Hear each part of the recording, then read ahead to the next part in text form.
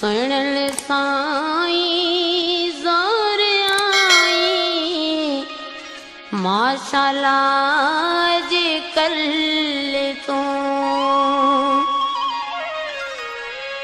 सुणल साईं